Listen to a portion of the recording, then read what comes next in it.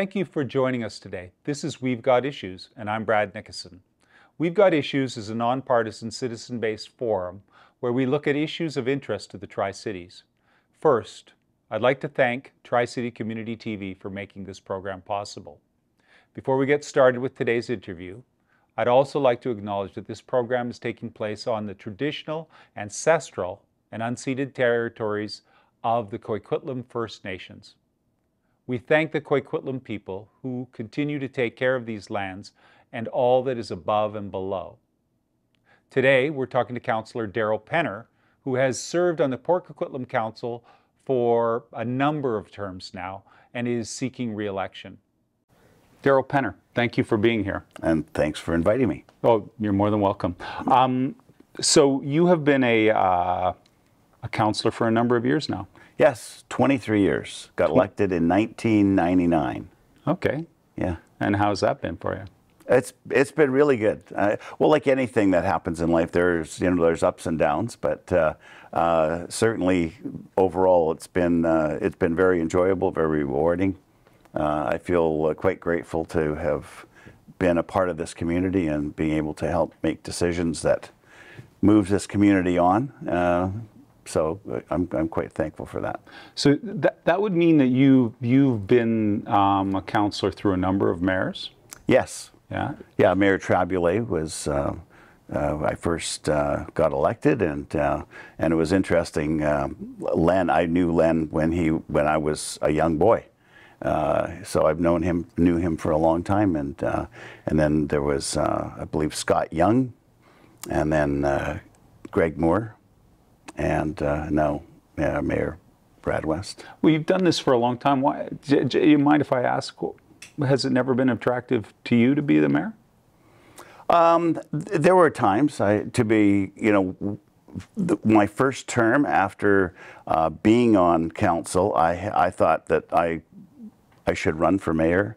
Um, that would have been running against uh, Mayor Traboulsi, who did a great job for the community. And uh, but you know everything needs changes at times. And uh, but very unfortunately, excellent gentleman uh, passed away uh, within a couple of years of uh, on the first term. So okay, so um, in that span of time that you've been a counselor, you you must have seen a, a, a huge change in our community. Oh, I've, I've, well, not only on council, just my, uh, you know, 50 some years in this community. I mean, uh, walking down uh, prairie between Coastbean and, and uh, Cedar Drive on a Saturday afternoon down the middle of the road with no traffic, thinking about how many people are going to live here. There was the, uh, the, the ditches on the north side had salmon in them. Uh, you know, that's how things changed. And uh, clearly, lots of people decided to move here. But I just remember that particular day. It was in August, and uh, and and that's always kind of uh, been something I thought about. You know, how the community has changed. Has changed over that period of time. So. Um, um, I'm going to challenge you even a little bit more to, to, to, tell us more about what that change looks like. What does it look like? What are the, the big things that you see? Aside from obviously there's been a growth in people, but what other kind of changes are you noticing? Well, uh, certainly uh, homeless issues. Okay. Um, we've had, um, you know, the uh, you know children that are going to school that are hungry. Uh, when I was in school, I just did not notice that. We had, I, we had one fella. His name was Charlie, mm-hmm. and he was down. He lived down downtown Poco by the river, and he was really our only visible homeless person. And every once in a while, he would uh, go and get cleaned up, and then he would show back up again. Mm-hmm. And then things changed substantially um, when, uh, you know, as when Riverview got closed down, that was, uh, in my opinion, an absolute disaster. Uh, the funding didn't come with what that support needed for those people. Mm-hmm. Um, so, so that was the big change uh, for our homeless population, uh, which is really unfortunate. Because we're a natural we're a natural place for um, people to end up, given our proximity to Riverview, I would imagine. Yeah, and, and you know, when Riverview was uh, open, we had there was really no issues with with with any of the clients that were there. Uh, they would come into downtown Poco. It- you know, Poco was much smaller. It was a real little town at that point, but there was really never any issues. It was it, it just worked. The community um, not only you know embraced them. Uh, we had a lot of the people that lived in our community worked there, so it was very integrated that way. Okay. All right. So, uh, so it was an industry in a sense for our community. Um, so, while you saw those changes, what did, if you don't mind me asking, what did that look like on council? What were the conversations about that on council? Well, I mean, always compassion for them. F- total frustration with um, with the province and the federal government, because the reality is is that um, municipal governments don't collect taxes to deal with those kind of social issues.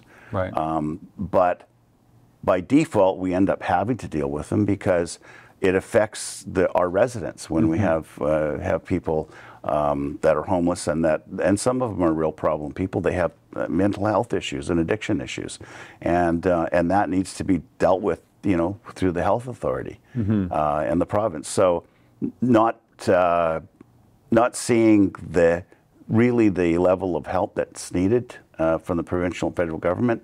We again, I said that we're by default we end up stuck with having to deal with some of these problems. So uh, that that is it's a very unfortunate. Uh, Right, and thing. that's something that's gone passed passed along over the years, and as you said, Right. we've seen it growing. So that's something that we're going to have to deal with. What um, uh, can I ask again?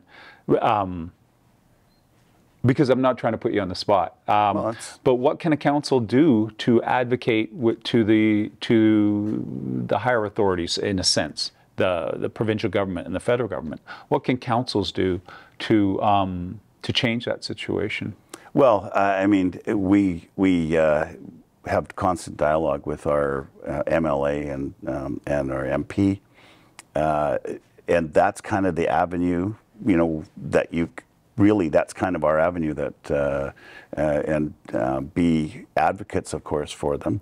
Um, so part of that landscape uh, is also uh, having um, affordable housing, non-market housing. And that's something that we can do. I know the last election there was a lot of people that wanted to see that happen. It was, a, and housing, of course, is a huge issue. Uh, well, in the whole country, but particularly Vancouver is, uh, you know, one of the most expensive cities to live in. So one of the things that we we have done, and we think we've done very effectively, is create a lot of non-market housing that's not subsidized by the taxpayer. So again, back to the idea that um, you know it's really a federal and provincial government's uh, role to deal with. But as a community, how can you create more affordable housing? And so we've done that through nonprofits um, and with uh, housing density bonuses and so forth. And so we've been creating quite a few units. There's, um, I think we've got about 800 and some units coming on online. So Is, okay, so I'm, I'm, I'm wondering if we're jumping a little bit ahead. Um, is that is is that something that you're doing right now, or is that something that's been go- you've been working on since you became a counselor? It, it's initially? it's been ongoing. It's been ongoing. particularly well. I mean, 23 years ago, no, we weren't we weren't dealing with that. Right. Uh, it's really been probably the last 12 years that that's been something that uh, council has been you know working on. Uh, Mm-hmm. We came up with the housing density bonus. So basically, what that is is that a developer wants to increase the density of a particular spot uh, area so that FAR uh, they would pay a certain amount of dollars per square foot. That money. F- FAR. floor area ratio. Okay. And so that one, that money then goes into a fund to help uh, build um, non-market housing. Right. Okay. All right. So I'm gonna I'm gonna pause a little bit right here and go back a little bit and ask you directly. Sure. So in your uh, and then we're gonna then we'll move on to more of what um, what count the council in your last term has done. But in your early in in the earliest years up until this last term. Um, what I'd like to know basically two things. What was your focus in those years, And um, do you feel like you've accom- you accomplished those things while you were doing those? Because I'm interested. I'm interested in that part. Like it's not often we haven't really talked to somebody who's been there th- as long as you, uh, and so and I think that's really interesting. Um, the process and and understanding what a what a counselor sets out to do and what they actually can accomplish in that time. So, if you don't mind, Sure. it, it, I'd like to know about those earlier years that you Sure. you've done this. So when I first um, was elected in '99, um, the first thing was to, frankly, get my head screwed on straight, figuring out how this whole machine works. Right. Uh, it's been very interesting talking to people that you know uh, doesn't matter what their age or their background, if they haven't been involved in that, it's a it's a different it's a different beast. You have to get a try to get a really good understanding on how it all works. So that was the first thing that I, I had to do. But my goal going into it was to have uh, better development. Uh, my my underlying reason for uh, getting onto council is there was a development that took place on the north side uh, that came very close to Hyde Creek.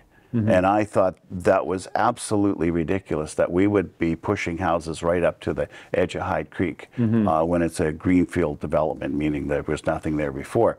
So I wanted to ensure that that was, you know, we would change that, um, and uh, and and then develop policies that would that would limit those kind of things. And uh, in concert with that, you had the um, the Fisheries Act and and so forth. So so those all those things kind of changed uh, since I was on council. Okay. I wanted to have a, a city hall that was much more receptive to people coming in with I- new ideas. Um, it wasn't like that when I first got elected. I, I thought that was, you know, this is this is a city hall is a building for all of us, and it's a place that people should feel comfortable. And if they have ideas and they want to do something, that they should be able to at least express them uh, with uh, and, and not feel bad about uh, you know being criticized about it. So that was that was kind of the underlying thing that I really wanted to see happen. when you say they shouldn't feel bad about criticizing, eh, do you mean that they shouldn't they shouldn't go away feeling like they were criticized? Yes. Yeah, Yeah. yeah. That maybe that's a better. yeah, better, yeah. better just, sorry. just clear that up Yes, a little bit. okay. Yeah, Th- yeah. yeah. Um, okay, and so um, making City Hall more um, uh, uh, more accessible to regular people. That's what Right. I, I think I heard you say. You know, I mean, the, the catchphrase is transparent. Uh, tran, you know, it's transparent government. Right, Sure, you can say that, but I think it's. Uh, I mean, if you have good uh, dialogue, you with uh, with the city, you you have a better understanding of how it works, and that's Right. usually most people because you know, like I was saying earlier, people that get elected are trying to figure out how it works. So, well, if you're not in it, and a person just shows up, how would you expect them to know how the how it works? So Yeah. if if the, if it's clear enough, uh, and the person that wants to take the time to learn, then it it hopefully um, helps them navigate through Right. the city. Do you? Uh, so over the years, do you think you've been successful with that? Is that like that? Uh, that I, I yes, I, I think very successful, and it's not so. It's not always. It's not just one person. I mean, you could be an advocate, um, and and and that's, you know, that's the best that you can do. You have seven people, and so it's going. It's at the worst case, it's four people that decide. Um, but it's you know, ideally the the process that is that you have generally you have most most councils most of council is in agreement and that seems to be i think the you know the best indication that the policy or whatever you're working on is uh, is successful Right. So, and tell me, with regards to exactly that, tell me if I'm wrong. Um, a, a motion is put forward to the council, and it's something that you're considering, and there's a really robust discussion about it. And after that robust discussion, they come to some, hopefully, they come to terms where everyone gets something out of the process and agrees on whatever that was, it, what it should look like. right Right? And the robust discussion is one thing, but it's the be respectful. Uh, we see this, you know, now it, this has come, you know, much uh, far more forward uh, in the uh, now that you know to be have a respectful workplace and so forth. I- um, and our council, uh, since I've been on it, uh, really we have prided ourselves in trying to be respectful. Have debate. I mean, we've the years I've been on council, we've had some real, real arguments Okay. but when it when the when the discussion is over, it's over. You make your you do the vote, and and, and that's it. And it makes it much better for the next time when you're going to bring something forward. Right. That the baggage isn't there Right. because there's no reason there's no way you should ever vote against something because somebody else voted against what you did or Right. what you put forward. Right. It's a very it's it's you're not focused in on what is in the best interest of the community. Right. It's not a tit for tat. No, It- it's more of a It sh- it should never be that way. Right, right. All right. So, okay. So um, I'm going to just ask one more time um, anything else uh, that you, rem- you remember from when you began to become, when you first became a counselor to, that you, you set out to do? And, and if there's, if you want, we'll just move on to um, this most recent term. Sure. Um, well, one of the things that, that I was involved with in my very early years and continue on uh, has been developing trails. Uh, trail system in Poco. I growing up, you know, we use those trails uh, like our own roads, uh, and um, it certainly is something that people really enjoy. It's a piece of infrastructure that almost every person can use. Not you know not everyone, but the vast majority.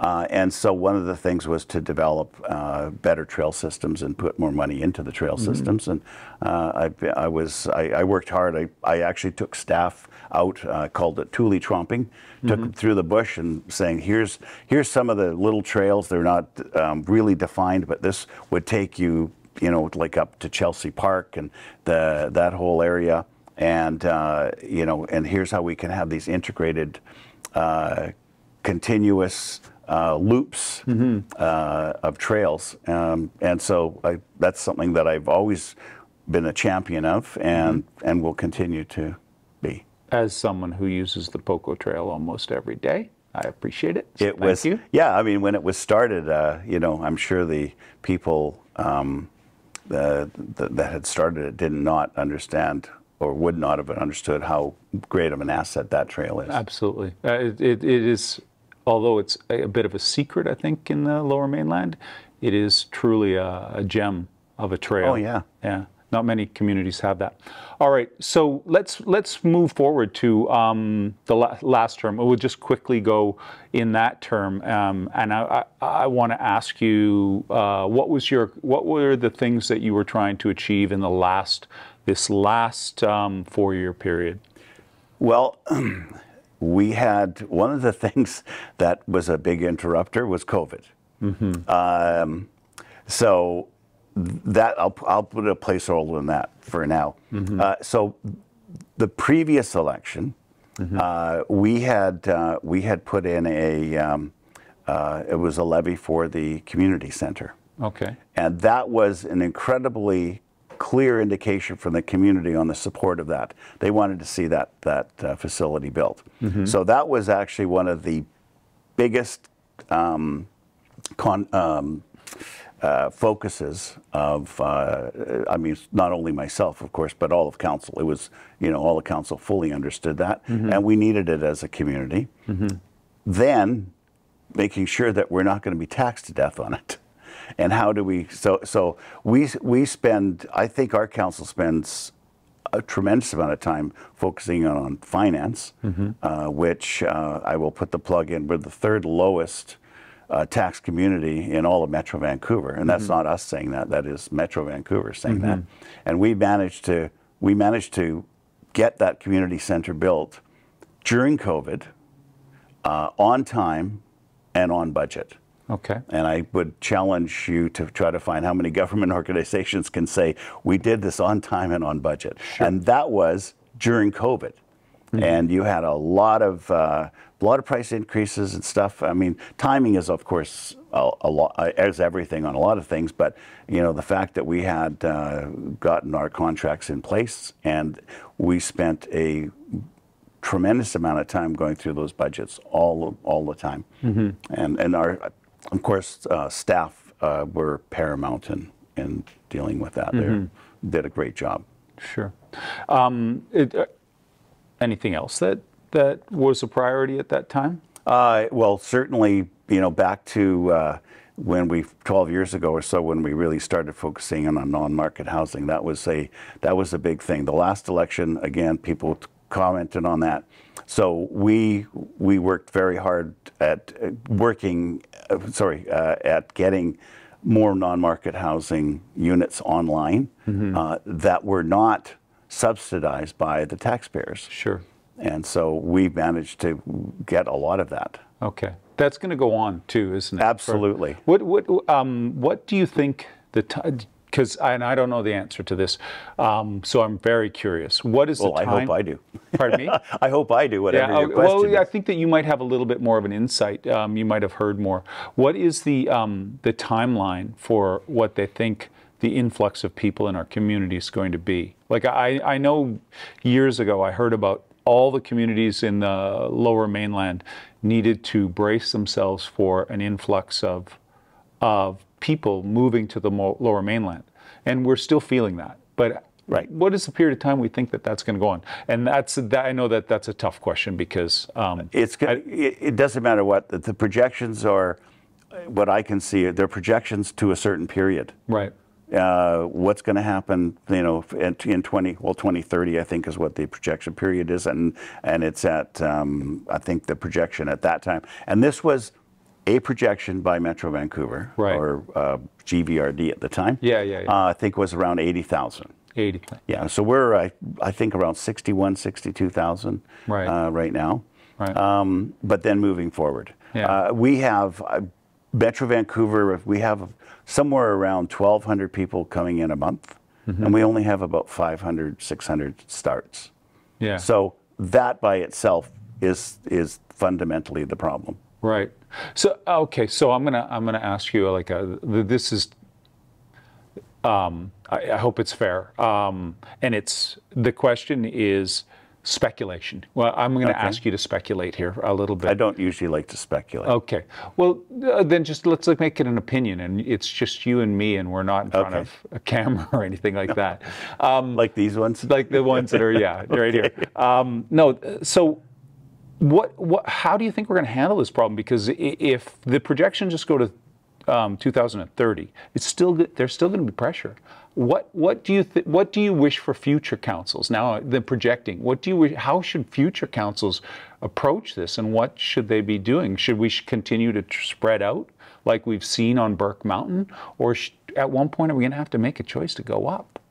Well, we're already making that choice to go up. To go up. We are, um, I mean, our choice is to densify. Yeah. Densified, like towers, Yeah. are actually a far more environmentally friendly footprint than, than spreading out. Uh, I'm absolutely uh, opposed to um, urban spread, urban Mm-hmm. sprawl. Uh, it, uh, i- i- infrastructure, you build more and more infrastructure, people drive more and more, all those things. So And that's costly to people, isn't it? When Co- when- very much When so. you when you build two miles from a city core, you have to build all that infrastructure Right. out there. And who who who pays for that infrastructure? Well, I mean, it's uh, developers pay for it, taxpayers pay for it, everyone pays for it at the end of the day. Right. Um, but But it's costly. it's costly. The council of any city has the ability to to say yes, we'll densify here, and we're not going to densify here. Yeah. So th- that's really, you know, it's really in the hands of, uh, of, of every government. Just because the projection says that's what we're doing doesn't say that we're bound by any kind of legal Right. legal uh, document saying you have to densify. You, you know, there's lots of advantages to densification because uh, when you have a high density area, you businesses that then can open up uh, and people that live in the area can support those ones. So, you know, buying their groceries, buying uh, whatever they need. They don't have to drive. Right. And that's why you know densifying and going up. Uh, why that is uh, much. It's a much better approach. Right. If you believe that you should have more people coming into your community. So you you would probably have your ear to the community better. Do pe- do people in Port Coquitlam support that?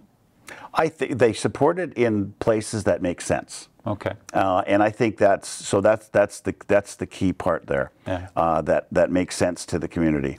Uh, so when you're developing your official community plan, Mm-hmm. that you look at areas that uh, have the best access to um, public transit, Yeah. so that the people that live there can ideally walk there. Mm-hmm. Um, the public transit is kind of out of our hands to a great degree, but but that's uh, that's part of the metro um, excuse me, metro plan for the transit, the TransLink plan. So, so that's where you want to focus in on those uh, those developments, um, because you will have, uh, and we've seen in other areas uh, in Poco where you have single family homes. Excuse me for a minute. Um, that um, uh, you know that will then get taken down, and then you densify those areas. And I know you know, usually the comments that we get from people on densification as well, there's going to be more traffic. Definitely, there will be to a degree. So the the the the, the um, uh, I guess the conundrum that you're in is that do you densify, which does create more um, more traffic, or do you do you not densify and then spread out, which is which which would create even more traffic Yeah. uh, because of all the roads. And, and there's a saying that build it and they will come. You build the road, you can never build your, uh, history has shown throughout other major cities is that you can't build yourself at the end of the day out of traffic jams. The more roads you build, I mean, you look at what happened, uh, Highway 1. Right, east and west, out in Abbotsford. All of a sudden, all these people moved out to Abbotsford. They buy acreage and all that, and then and now they're all driving in, and it's just a parking lot. Right. And on top of that, it becomes attractive to developers to develop farther out. Yeah. And create those those farther out developments. Right. Right. Okay. So um, I'm using up all the time talking about other things, uh, uh, and and what's really the most important thing here, and we have now the littlest time for, Not is this next new run. Uh, you're gonna you're you're running for uh, the same seat, um, not running for mayor. I think we've established. Yes. Uh, we're running for the same seat in this next election. What do you want to accomplish in that? Um, well, uh, it might not sound so uh, sexy to say the same thing I've been working on. Um, th- uh, living in the community as long as I have, I think I got a pretty good pulse of what, what we want. Sure. And uh, the continuation of making sure we develop our trails, making sure that we uh, have uh, good non market housing, and then we have lots of different forms of housing because you don't want to have just one type of housing. So, uh, and, and, you know, having mixed use uh, buildings where you have commercial and you got residential, I think those are very important to uh, to bring forward. Um, and keeping an eye on the on our taxes, uh, but not only keeping an eye on the taxes, but ensure that we have good quality services. That that is, it's it's frankly super easy to cut taxes, but then it's like if you're cutting taxes, what are you going to? What's coming off? Uh, what are you not going to do? And usually you get the complaints that well, this used to be here and now I can't do this. That's that's a see, like you put your finger on what is for me a huge, huge issue. Is I think that a lot of times people don't understand the relationship between taxes and the services, the government services. Right. In this case, we're talking municipally, the municipal services that you get. If we cut those taxes, if we if we focus on a low tax um, approach all the time, it means it's going to limit what the uh, the quality of life is. Absolutely, If we're not careful. and that's that balance. Right. You know, um, I mean, I I want to live in a community that has high quality services, Mm-hmm. uh, that looks nice, it's well care, taken care of. Mm-hmm. I mean, you, as soon as, and you've seen this in lots of cities, as soon as you have areas that are not well taken care of, you know, houses are uh, dilapidated, or you have uh, commercial areas that are boarded up, and then you know, and then crime comes in. I mean, you have you know graffiti. I mean, we have graffiti now, but but that urban blight just seems to you know keeps moving. spread. It's spread. So uh, it's really important that you that you keep that in mind all the time. I mean, we should we should be glad to live in our city. We should be proud to live in this city, uh, and as other communities, they should be also proud. So, uh, creating that creating that environment is kind of the most important thing overall. I'm um, I'm thinking this is this has been a really um, uh, uh, a very interesting conversation. It's it's a short period of time, and there are 22,000 other things that I'd like to discuss with you with regards to that. But um, I don't want to be remiss in talking uh, to in putting um, talking about one of the passions that I have. Um, uh, and and my friends in the community would be would be upset with me if I didn't bring it up. I want to talk to you about art in our community. Yep. Um, how, wh- where do you see? Do you see that there's a place for that? And is there any plans in the future of um, expanding the, the the opportunities for young people in the arts?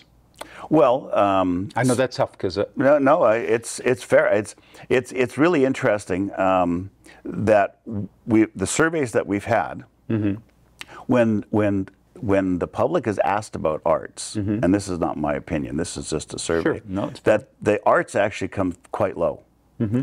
except for when people when they talk about other places in the world on how wonderful they are, and then you go to Europe and everything. Mm-hmm. Their arts culture is so rich and they talk about that. So there seems to be a disconnect between the average person and and, and arts. Mm-hmm. But the average person always always loves the arts. So uh, when they when they they appreciate it. So uh, going back to having a city that is a great place to live. Well, the arts is is really important to have, uh, and it's a balance again with you know with budgets. Uh, we've had we we built Leigh Square. Sure. I mean, that was a, uh, a- to be an arts village. There's been some changes that's happened. Uh, we certainly have supported the arts quite quite a bit, and the arts community. It's a it's it, that needs to also work together and then come to the city and say, you know, here is what all. If you could collectively have all of the arts groups in one group and agree on stuff, this is where we want to move forward. Right. We did that with uh, Sports. with sports. Yeah. And it work, has worked out extremely well. We would love to see that happen, have a really cohesive arts council Mm-hmm. uh, that we can we can have that conversation with. Um, if I'm reelected in the next yeah, term, Uh, that would be uh, that would be give us really clear directions. We Mm-hmm. the the council has never had a problem supporting the arts. I mean, it's pretty obvious what we've done to date. Okay. Um, but uh, but yeah, it's I, I, I like, you know, I mean, as you know, I I play music. I think music is just paramount, uh, you know, certainly in my life, and Mm-hmm. uh, and I think for most people. So I did not know that. Oh. and now you've just created, we've gone from 22 to 26,000 questions. Um, and what you said about the arts, the, you've really provided a fabulous answer, and I really appreciate that. Those people, if they hear it, it sort of prescribes what they should be doing. So thank you for that. Um, uh, but you encouraged me to ask the final question, which is with regards to reaching out to people, um, because I think um, people reaching out to you is, is the- are people are, are you accessible to people? And and is that a realistic way that people should contact and make sure that they've they've talked to people like you about what they want for the city? Of course, I mean that's what we are as a you know your council uh, and you know as myself, uh, we represent the community, and it's always uh, always interested, always wanted to know uh, if there's something that's really missing. What what is it, and and how can that be changed? Um, you know, and nothing to do with arts, but you know, just one person coming in and saying this is what I want to see happen uh, is not a real true test of what needs to be done, and that's why it's important that um, you know that people do talk to council not only about the arts but about any Any issue. Absolutely. any issue, Uh, uh, and ideally not at an election time yes because there's four years behind, you know, Yeah. and, and so the next term, you know, talk to your talk to the council all the time. so council is accessible to individuals but it's better if you come as a group with issues so that they the council sees that there's backing behind it. Absolutely. Yeah, and and that's what our council's for. Yes. Darrell, this has been fabulous speaking to you. I'm, I really appreciate you coming in and talking to us, and thank you for taking the time with us. Well, thank you very much uh, uh, for having me. I appreciate it. Appreciate all the work that you uh, folks are doing. Great, thank you very much. This has been We've Got Issues. We've been talking with uh, Councillor Darrell Penner, who is running for election in this the campaign that's October 15th. Uh, 16th, I believe. 16th. The election is on October 16th. Please make sure that you come out and vote. Um, thank you to Tri City Community TV for having us and hosting us here today. Thank you.